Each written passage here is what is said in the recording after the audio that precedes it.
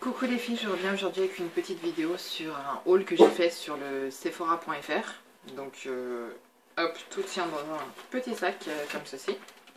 Avant ils mettaient ça dans les boîtes, maintenant c'est dans un petit sac. Donc le premier produit que je prends, donc j'ai vraiment commandé un shampoing de la marque Way. J'ai pris le Clean. Je cherchais, euh, dire Clean nettoyer, le shampoing il s'appelle Clean, voilà. Donc au niveau de l'odeur, ça sent bon mais rien d'extraordinaire. Donc euh, je ne l'ai pas encore testé donc je peux pas vous dire. Je n'en sais rien. Ensuite j'ai eu des petits échantillons. Donc euh, le super balance de clinique. Ah, la couleur 08 je suis pas sûre que ça aille à mon avis c'est sûrement trop foncé. Une jolie micellaire démaquillante ultra douce de Sephora, j'essaierai. De l'atelier Cologne citron d'érable donc euh, j'ai senti, ça fait un peu masculin, masculin féminin, mais c'est pas, c'est banal en fait comme odeur, c'est pas, ça m'a pas transcendé quoi. Ensuite le Kenzo World que je suis pas fan non plus personnellement de ce parfum, de ce parfum là. Donc à mon avis ces deux petits parfums bah, ça ira dans la prochaine box euh, maquillage que j'ai à vendre parce que oui, j'ai encore apparemment des produits que je n'utilise pas. Donc je vais sûrement faire, refaire de nouveau une box. Je pensais que j'étais arrivée au bout, mais non. Ensuite, par contre, j'ai eu un, coup de cœur euh, pour euh, celui-ci, donc de réminiscence, le patchouli blanc. Donc un, ils appellent ça un oriental boisé musqué. Donc c'est vrai que c'est des parfums qui sentent quand même fort. Et ce que j'aime bien, c'est que c'est voilà, une odeur qui est originale. C'est pas voilà, pas l'odeur qu'on a tendance à sentir sur tout le monde. Ça sent le patchouli, le santal et le musc blanc. Donc euh, vraiment j'ai bien aimé. Ça fait, c'est pas du tout une odeur de jeune fille. Hein. ça fait vraiment femme, je trouve, d'un certain âge même. Mais euh, moi j'aime beaucoup ce genre d'odeur. Ça fait femme, euh, je sais pas, ça, fait distinguer, ça fait classe, je trouve personnellement. Ensuite, alors ça, je l'attendais depuis longtemps et enfin il est en France, je ne savais même pas, je suis tombée dessus par hasard quand j'étais sur le site. C'est de la marque Ciaté, le Mani Marker, parce que vu que je ne vais plus à l'institut depuis que j'ai mon bébé, je n'ai plus le temps d'y aller une fois par mois comme je faisais, parce qu'il faut, voilà, faut que je trouve pour la faire garder à chaque fois. Donc, eh ben écoutez, j'attendais ça, parce que j'avais vu sur une vidéo d'une youtubeuse américaine qu'on peut faire ça à la maison. Donc moi j'ai pris la couleur rouge, c'est un stylo en fait vernis. Donc vu que je suis nulle avec les vernis, que j'en mets partout, que ça déborde, j'ai de très grandes espérances là-dessus. Donc je suis très contente euh, et si c'est bien, franchement, je pense que je rachèterai à chaque fois ce truc là. C'est largement mieux que des vernis. Parce que c'est vrai que bah, mes ongles ils sont moches depuis que je les fais plus. Donc euh. Ensuite j'ai racheté ma, poudre euh, chouchou que j'ai testée. Bah, j'ai testé il n'y a pas longtemps, je la connaissais pas et j'ai adoré l'utiliser. Je l'ai fini récemment. Donc de Clinique, la Stay Matte, poudre transparente haute matité. Moi j'ai la couleur 3, Stay Beige, donc c'est une poudre qui est coloré quand même, qui apporte un peu de, couleur. Donc je vais tester ça. en fait, je voudrais essayer de tester euh, le nouveau fond de teint en fait que j'ai acheté aussi de Urban Decay en live. Mais je me rends pas du tout compte, vu que je n'ai jamais fait ça en tout cas de première impression, je me rends pas du tout compte de la luminosité que ça va rendre avec euh, la tablette. Parce que là, je filme avec une tablette. Moi, je vois de la lumière, mais je ne sais pas. Et en plus, ça va être compliqué pour moi parce qu'il va falloir que je me regarde dans un petit miroir à côté. Donc c'est vrai que j'ai pas, euh, pas de trépied, j'ai pas de lumière, j'ai pas tout le matériel pour faire des vidéos. C'est pour ça que je n'en ai jamais fait, mais je me suis dit pourquoi pas essayer. J'ai du temps, je suis en vacances comme je vous ai dit, donc euh, j'aimerais essayer au moins une fois de, voir ce que ça donne. Par contre, il y aura pas de, je vous cache pas qu'il n'y aura pas de montage, ça sera live. Donc euh, je ferai peut-être pas tout le maquillage devant la, caméra, mais au moins l'application du fond de teint, le all-nighter. Et et vous dire ce que j'en pense en fait, tout simplement. Ensuite, je cherchais euh, un rouge à lèvres, euh, en fait, euh, comment dire ça, rouge foncé, rouge profond, pas les rouges, rouge Betty Boop, là, rouge, non, non, pas le truc qui flash à 3 km, je voulais un truc un peu, ouais, un rouge foncé, lit de vin, enfin, un truc, voilà, foncé, quoi. Et j'arrivais pas à trouver ce que je voulais, même si on a, je pense, dans toutes les marques, mais j'arrivais pas, avec les swatchs et sur Sephora, enfin, on se rend pas compte, en fait. Donc j'ai euh, tenté, on va dire, de prendre un nouveau euh, Kat Von D, parce qu'en fait j'en avais un autre de Kat Von D que j'adore personnellement. Donc je vous le présente, je sais pas si la couleur va ressortir. C'est le Love Sick, j'adore. C'est un rose un peu mauve, j'adore ce, genre de couleur. Il est top au niveau de l'application. Donc je me suis dit, bon, je vais reprendre un Kat Von D. J'ai pris la teinte Vampira. Donc, petite déception parce qu'en fait, euh, sur le swatch, je sais pas si on verra bien, mais il y a un peu de marron en fait dedans. Et moi, je cherche pas un, rouge marron, je cherche un, rouge, euh, voilà. Et c'est vrai que quand on le sort, on dirait un marron foncé. Ce qui n'est pas du tout euh, ce que je, ce que j'espérais en fait. Moi, je voulais vraiment un rouge bordeaux foncé.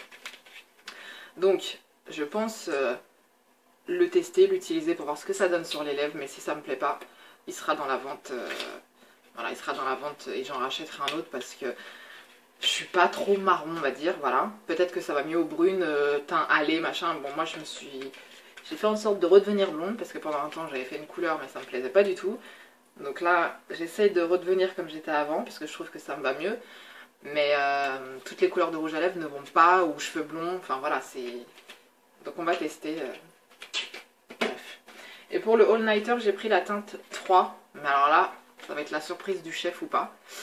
Parce que j'ai testé vite fait sur ma main en magasin. Et sur ma main, ça va. Mais est-ce que ma main et mon visage sont la même Voilà. Donc j'ai acheté celui-là. Mais ça, c'est pareil. C'est coup de chance ou pas. Soit ça me va, soit ça me va pas. Donc euh, je serais assez dégoûtée si ça m'allait pas, personnellement. Hein. Donc je vais prendre mon Beauty Blender tout, tout dégueulasse, hein, bien sûr.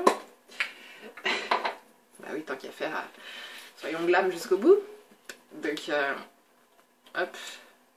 Je sais pas trop s'il faut en mettre beaucoup. Ça me paraît clair la couleur, j'ai peur un peu en fait que ça soit trop clair. Heureusement que j'ai la poudre euh, qui est un peu colorée pour... On va voir ce que ça donne. Alors attendez, parce que je peux pas me maquiller avec la tablette. Moi je vois pas grand chose, donc je vais me maquiller là. Ouais, la texture c'est clair, ça me paraît clair en fait. On va essayer. Hein. Moi je fais tout au Beauty Blender donc... Euh,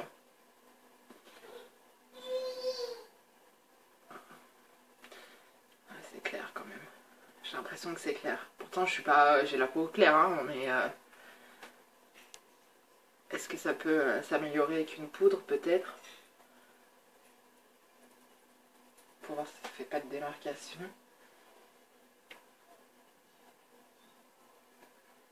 Je sais pas du tout ce que ça va rendre à la tablette.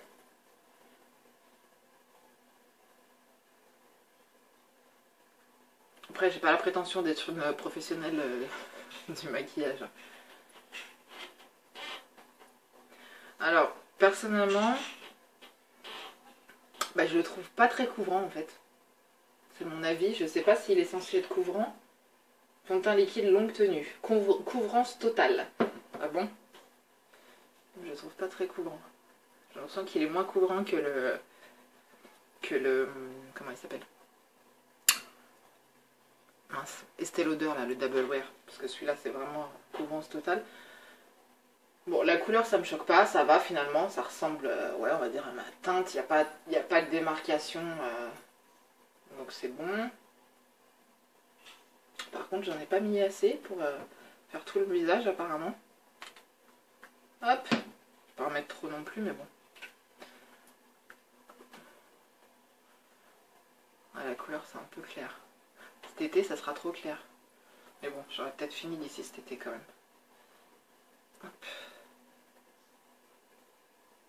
Là, je vais aller faire euh, un peu de shopping. Si... J'ai l'impression de me rendre blanche.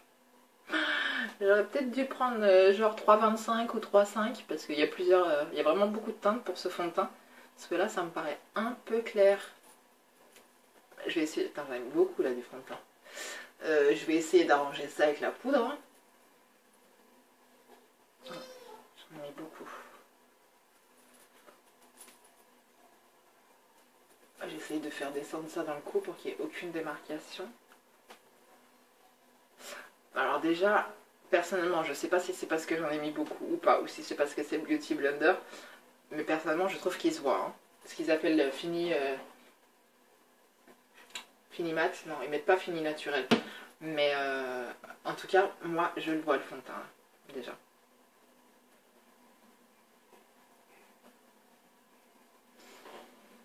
Ça me fait bizarre parce que j'ai l'habitude de maquiller devant la glace, ouais, j'ai l'impression d'être blanche.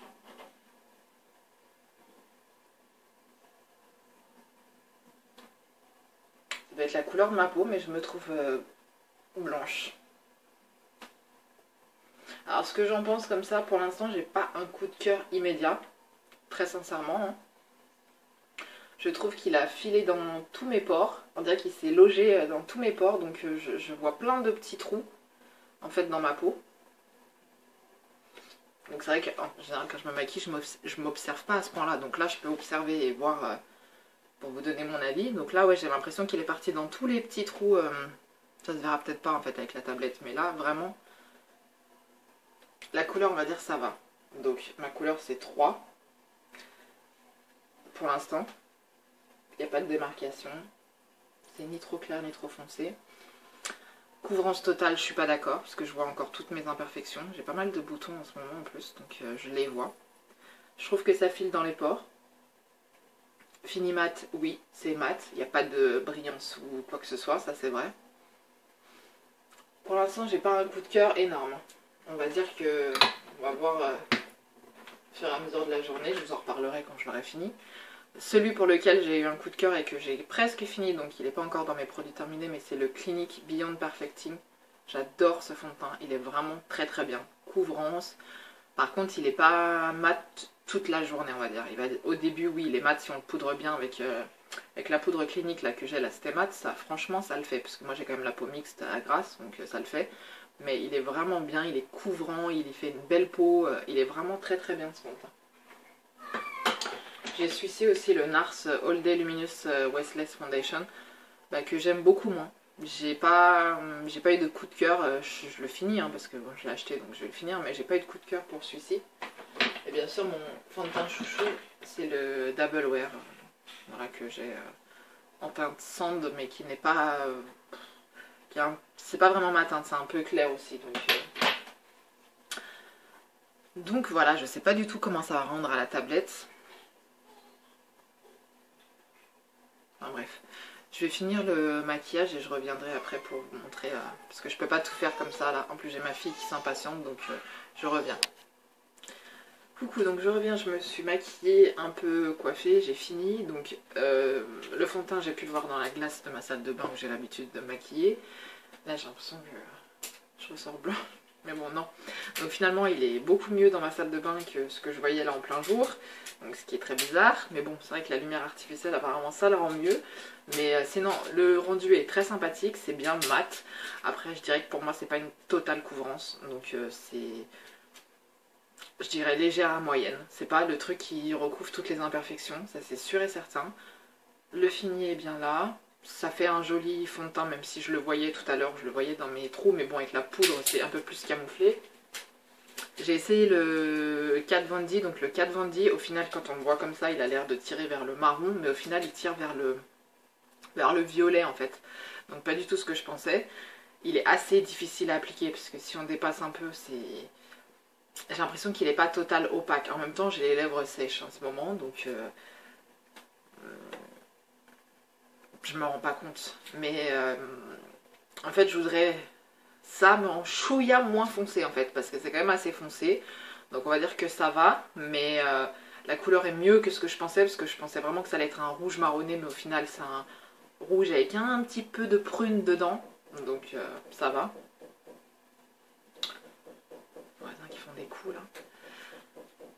j'ai mis quoi? J'ai mis l'eyeliner Kat Von qui est... C'est le seul c'est le seul qui ne me fait pas un trait au-dessus de la paupière au bout d'un moment. Parce que ça, c'est le problème de tous mes eyeliners. Quand je mets l'eyeliner le matin, je me regarde vers... Euh, voilà, quand je rentre du taf, euh, je vois, j'ai un trait noir là de panda là, sur les deux arcades. Donc c'est un eyeliner qui me fait ça, c'est direct j'en veux plus en fait. Donc celui-là, c'est un des seuls qui me fait tenir euh, l'eyeliner là où il doit se tenir, on va dire. Donc voilà. Euh bah écoutez, je vais, là je vais tester le vernis, puis après je vais aller, euh, je vais aller faire un petit tour euh, au centre commercial de Bercy pour les filles si jamais, euh, si jamais il y en a une qui est dispo et qui, voudrait peut-être me rencontrer, bah, je vais y aller là cet après-midi, on est mercredi. Au centre commercial de Bercy, j'aime beaucoup ce centre commercial parce qu'en fait il n'y a pas un chat, il n'y a personne. Il n'y a pas tous les magasins non plus, mais moi je vais aller faire un petit tour à H&M parce qu'ils ont des trucs sympathiques. Et puis demain, euh, si je suis encore motivée, je vous ferai une autre vidéo, euh, bah, je vous ferai une autre vidéo sur les produits finis parce que j'en ai fini quelques-uns. Ou alors, mais je préfère une vidéo aussi sur mes produits euh, bah, que j'aime bien en ce moment, que j'aime bien utiliser. Comme je vous ai montré certains fonds de teint, je peux vous montrer certains rouges à lèvres. C'est vrai que c'est une vidéo que j'ai jamais fait, donc je pourrais le faire. Donc voilà, j'espère que cette vidéo vous aura plu, même si je sais pas du tout ce que ça va rendre en première impression. Et puis, puis je vous fais de gros bisous. Voilà, bisous les filles.